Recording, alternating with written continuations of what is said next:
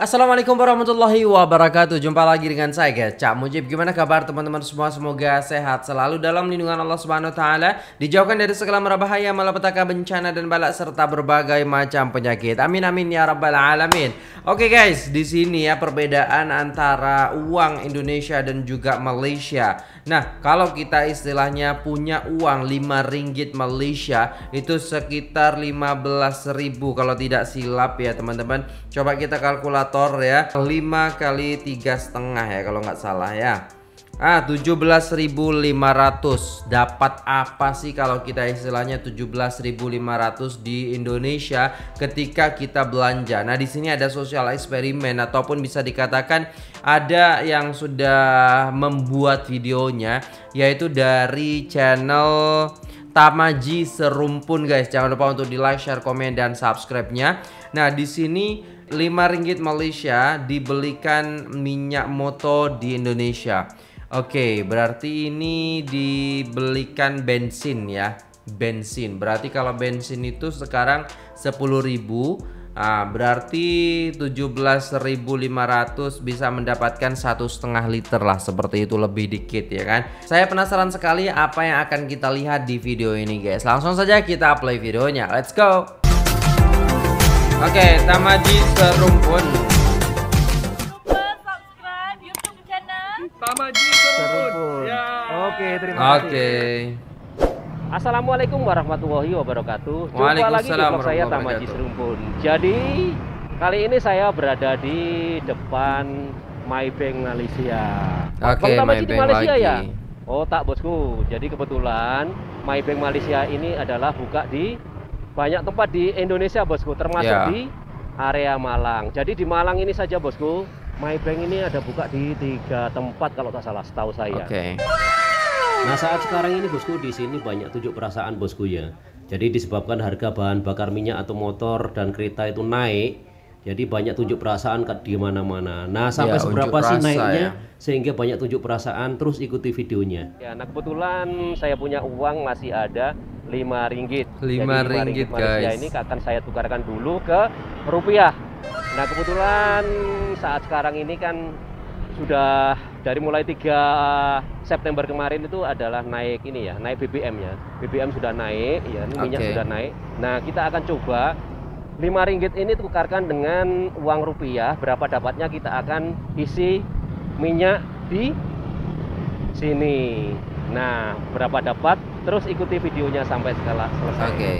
saya doakan bos-bosku senantiasa sehat walafiat panjang umur dan murah rezekinya. Amin. Jangan lupa selalu bersyukur bosku agar hidup kita selalu makmur. Amin. Amin. Nah bosku jom ikuti saya terus. Jadi uh, tempat penukarannya uang karena ini bos ya, karena di Maybank ini, Maybank ini tidak boleh tak dapat tukar uang rupiah ya dari uang ringgit. Jadi kita akan tukar money changer di sebelah sana. Nah inilah okay. bosku kondisi ini ya, kondisi Bandar Malang ini. Kondisi Bandar Malang. Jalan Basuki Rahmat Malang Jatim. di jalan ini ya, tepatnya di Jalan Basuki Rahmat ini. Oke. Okay. di Jalan Saya ke Malang itu dua Jadi kali ya guys, baru dua kali. ya, Pengen lagi ke sana, enak banget sejuk. Rehat ini. Jadi kita lihat arus lalu lintas di sana okay. sangat ramai. Nah ini bosku saya akan tukar dulu uang 5 ringgit Kita akan belikan minyak bensin atau BBM Kalau dekat sini dapat berapa liter ya nah, Oke okay. Kita akan tukar ke Mana mana cajarnya ini pak? Oh, TTP Falasindo. Nah, nanti bagi bos-bosku yang nanti mau melancong ke Malang, ya kan kalau nanti kesulitan masalah penukaran uang di PTT Palasindo di sini boleh menukar uang ringgit semua mata uang dunia ya. Ini deh.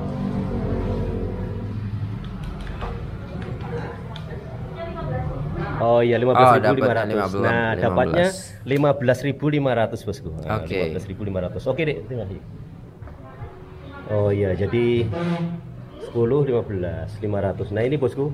Jadi tadi kita sudah tukar 5 ringgit dapatnya 15.500. Berarti dapat 1 liter setengah ya, teman-teman. 5.000 ya. Jadi nanti ini kita akan belanjakan belikan minyak atau minyak motor di sini. Berapa liter dapat terus ikuti videonya. Oke, makasih Pak ya. Eh, eh, makasih. Ini sih Pak. Oh. Oke, rame ya. Oh, jalannya guys, perlu diperbaiki itu. Oke. Okay. 15.000 satu liter setengah ya Nah itulah bosku jadi kami sudah isi minyak atau isi BBM di salah satu stesen minyak di Indonesia jadi kita sudah belanjakan uang 5 ringgit yang kita tukar ke uang rupiah menjadi 15.000 hanya dapat satu liter setengah Ya, satu liter kalau yang setengah. dulunya 15.000 itu boleh jadi 2 Dua liter, lebih liter. bosku nah sekarang Ah, cuma liter. dapat satu liter setengah saja Nah, kita coba akan tanya ke beberapa orang yang ada di sini, bosku. Ah, apa kesan mereka, tanggapan mereka dengan kenaikan Oke. harga BBM atau harga minyak ini? Nah, coba kita akan tanya ke beberapa orang yang mau isi minyak ini dengan kenaikan harga BBM atau bahan bakar minyak di Indonesia itu apa tanggapan adik-adik di sini? Halo, assalamualaikum, Dek. Boleh mengganggu sekejap? Ya, ya. Ah, gini, Dek. Siapa namanya? Eh, saya Cindy. Cindy, oh ya Cindy. Cindy. Jadi baru-baru ini kan dalam satu minggu ini kan ada kenaikan bahan bakar minyak ya di Indonesia ya. Dulunya berapa satu liter kalau pertalit Tujuh setengah ya. tujuh setengah ya. Sekarang menjadi, Sepuluh ribu. nah tentunya tentunya itu kenaikannya agak agak agak banyak ya. Lumayan. Ah, jadi menurut tanggapan Dek Cindy gimana? Ya ya? Kalau kita mah rakyat kecil ngikut aja sudah. Apa kata orang-orang Atas. yang menentukan yang di atas? Oh iya iya. Tadi dalam Oke. dalam hati keluhan jawaban sejujurnya dalam hati gimana? Kalau anu sih ya katanya sih untuk subsidi untuk mensejahterakan rakyat kecil ya, tapi kita lihat aja Oh. bagaimana selanjutnya. Oh gitu ya. Jadi Bagus istilahnya cara pikir ya. Ibunya ya. Ikut aja sudah. Ah, ah, ah. Yang penting kerja tiap hari. Heeh. Ini sudah ngisi minyak tadi? Ini mau ngisi nih. Oh mau ngisi? Ya. Oh mau ngisi. Mau oh ngisi. jadi biasanya kalau dulu ngisi uh, 7.500 dapat satu liter. Sekarang kalau dapat oh 10.000. Hmm. Oke terima kasih Mbak Cindy ya. Ya. Ah, ah, ah. Assalamualaikum. Boleh kenalan dek? Ah, sekarang ini kan ada kenaikan BBM ya dek ya. Dari berapa Ah, dulu? Per liter pertalit ya. 7.000 ya. 600. Oh, dengan kenaikan sekarang 10.000. 600 ya. Gimana dek kesannya dek? Ada kesan sedikit, boleh cerita sedikit? Ikut aja ya, ikut kata pemerintah aja ya. Oh iya, dengan siapa? Rodi. Rafli, oh, Rafli ini bosku. Jadi walaupun masih muda tapi dia sudah pandai cari uang ini. Perlu kita contoh. Oke, makasih dek ya. Eh, semangat. Mudah-mudahan banyak penumpang ini. Ini berapa penumpang dah? belum Oh belum ada dapat penumpang. Nah ini Oke. bosku mikrolet jalur apa ini dek? AG ya? Oh jalur AG. Arjosari Gadang ya? Oh, Saya pertama kali naik ini guys, kalau di kampung saya ada kayak gini, tapi tampilannya nggak gini, jadi masih seat depan, tengah gitu kan. Terus pertama kali saya naik ini di Jawa Tengah di Kudus kalau nggak salah, saya itu ketika ziarah ke masjid ya ataupun Sunan Kudus yang ada di Jawa Tengah ya guys. Dan masya Allah di situ sangat-sangat ah umpek-umpekan juga gitu kan waktu itu dan saya juga nggak tahu ini gimana ya gimana ya gitu alhasil ya memang baik-baik ya supir-supir angkot di sana dan masya Allah saya juga diantarkan dengan tepat seperti itu ini masjidnya ini untuk ziarah kepada Sunan Kudusnya seperti itu oke Mudah-mudahan banyak numpang dek ya. Pak Heri, apa kabar Pak, Pak Heri? Heri Gimana Pak dengan kenaikan BBM sekarang ini Pak? ya gini aja ya surut ah, penghasilan Surutnya- Sabar aja Pak ya. oke Halo assalamualaikum dek. Waalaikumsalam. Boleh minta waktunya sebentar? Ya. Ah, ah, dengan siapa? Rahayu Rahayu. Ah, gini Rahayu. dek Rahayu. Ini tadi sudah isi bensin. masih tunggu antri. Masih tunggu antri, karena Antri. panjang ya antriannya ya. ya betul Nah boleh tanya dek, ah, dengan kenaikan harga BBM sekarang ini dari 7.500 ke ya, sepuluh ke 10.000, gimana kesannya terhadap adik sendiri? Eh, kesannya sih eh, kalau bisa diturunkan ke harga normal kemarin lah Oh iya. karena berpengaruh ya Oh, di jadi- pasar juga berpengaruh semuanya Oh. bahan-bahan juga naik Oh iya, terasa ya dek kenaikan nanti ya. terasa banget Oh. Terus terutama bagi apa orang-orang yang tak mampu ya. iya untuk kalangan menengah ke bawah ini cukup berat Oh iya, jadi kalau bisa diturunkan kembali turun kembali harga normal ke harga normal ya. Nah rencananya mau ngisi berapa ini dek? mungkin sepuluh ribu Oh mau ngisi 10.000 Iya, jadi cuma satu liter aja. cuma satu liter aja Oke. oke Nah ini angkutan umum bosku. Jadi ini sama dengan taksi, tapi ini lebih murah lagi bosku. Jadi untuk Betul. rute terdekat boleh naik ini. Jadi angkutan murah di Indonesia ini namanya angkot. Jadi ini Angkot. jalur AG itu Arjosari Gadang. Jadi boleh turun rute antara Arjosari ke Gadang. Nah kita coba ini bosku akan tanya kepada ini ya abang penjual bakso ini ya. Nah, 5000 kasih ini. Gimana mas dengan kenaikan bensin sekarang ini? Ada imbasnya tak? Ya ada pak. Jelas ya. Tapi harga bakso naik mas. ya tergantung Lihat, lihat tadi ini. lihat kondisinya. Lihat kondisinya ya. kan? Iya. Heeh. Karena masih ini kebetulan bosku jadi dia pun gunakan motor jadi gunakan Iya, eh, BBM bensin ya, untuk- BBM juga. Pertalit ya? Pertalit apa pertamax? Enak loh guys bakso gini Pertalite nih ya. guys. Dulu berapa mas per liter? Dulu 7.600. 7.600 sekarang 10.000. 10.000. Jadi ya pasrah aja mas ya. Iya. Yang penting saya bisa beli BBM nggak apa-apa. Iya betul betul betul betul. Betul sih. Yang penting kita bisa beli BBM. Terima kasih mas ya. Ya.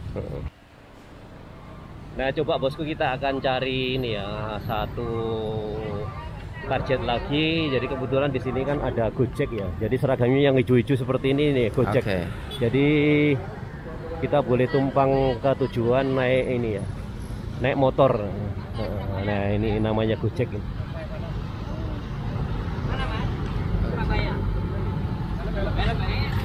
Surabaya.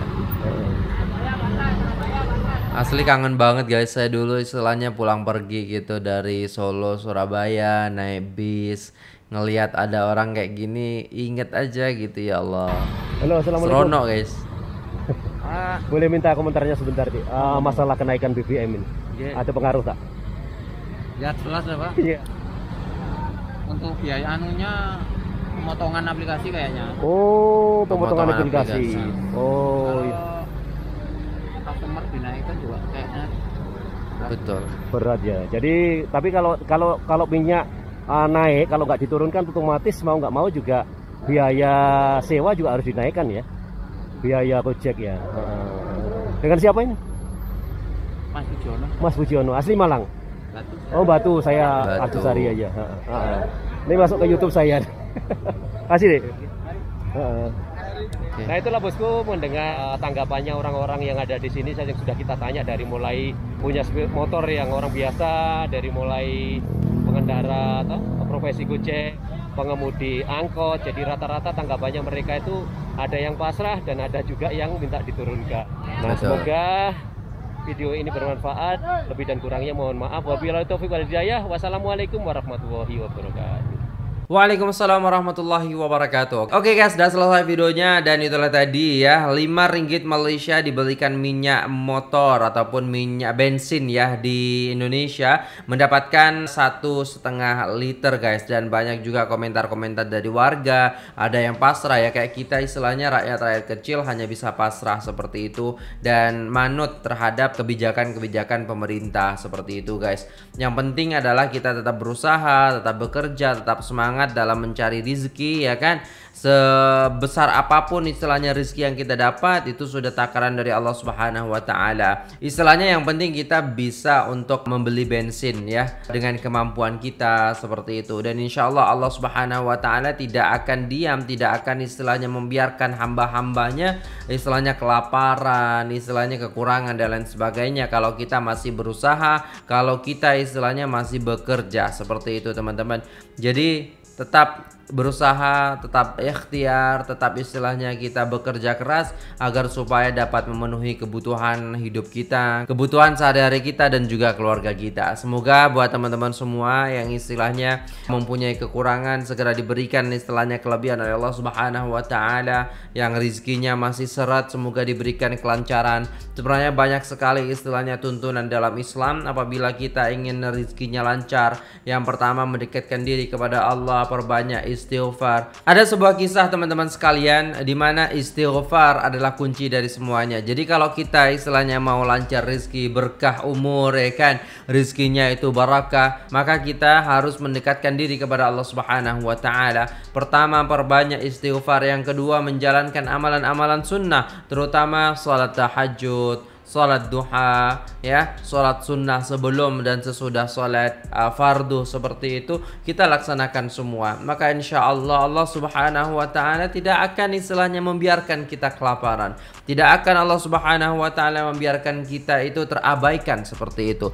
Maka daripada itu teman-teman sekalian, mulai daripada sekarang mari kita bersama-sama merikatkan diri kepada Allah, ya, di akhir zaman ini yang terpenting jangan kita hanya mengejar dunia tapi kejarlah akhirat juga. Karena kalau di dunia kita mengejar akhirat maka insya Allah di akhirat kita akan bahagia. Tapi kalau di dunia kita hanya mengejar kebahagiaan dunia saja maka kelak di akhirat kita akan menyesal dan meminta kepada Allah ya Allah kembalikan saya kepada dunia saya akan melakukan ibadah saya akan melakukan kebaikan-kebaikan. Maka daripada itu teman-teman sekalian di dalam Al-Qur'an sudah jelas di firmankan oleh Allah Subhanahu wa taala banyak nanti orang-orang kafir akan meminta kepada Allah kembalikan saya hidupkan saya di dunia maka saya akan beriman kepadamu ya Allah. Maka saya akan melakukan kebaikan kepadamu ya Allah. Maka saya akan sholat maka saya akan sedekah maka saya akan zakat dan lain sebagainya. Allahu akbar Ya kalau kita mengkaji lagi, mengaji lagi bab tentang Al-Quran ya kan? Kita fahami artinya. Kita fahami dengan apa yang sudah ada dalam Al-Quran Mengenai tafsir dan lain sebagainya Tentunya dengan guru ya. Bukan hanya istilahnya kita belajar sendiri maka di situ kita akan mendapatkan ketenangan, kita akan mendapatkan bekal, kita akan mendapatkan petunjuk di mana petunjuk itu akan menyelamatkan kita di dunia maupun di akhirat. Allahumma rahamna bil Quran, Allahumma ij'alna min ahlil Quran ya Allah ya Rabb. Amin amin ya rabbal alamin. Terima kasih sudah tengok video ini guys sampai selesai. Sangat panjang sekali saya berbicara. Jadi mohon maaf apabila ada salah kata, kesilapan ya teman-teman sekalian. Semoga kita termasuk orang-orang yang senantiasa mendekatkan diri kepada Allah Subhanahu wa taala. Intinya kita harus bersyukur dengan apa yang sudah ada sekarang. Jangan sampai istilahnya kita kufur atas nikmat yang Allah berikan kepada kita. Berapapun Allah berikan kepada kita itu adalah ujian dan juga nikmat kepada kita. Sebanyak apa pun itu merupakan ujian dan juga nikmat yang Allah berikan kepada kita. Maka kita kena bersyukur, maka kita juga kena merikatkan diri kepada Allah Subhanahu wa taala. Wallahu a'lam bissawab. Terima kasih. Wassalamualaikum warahmatullahi wabarakatuh.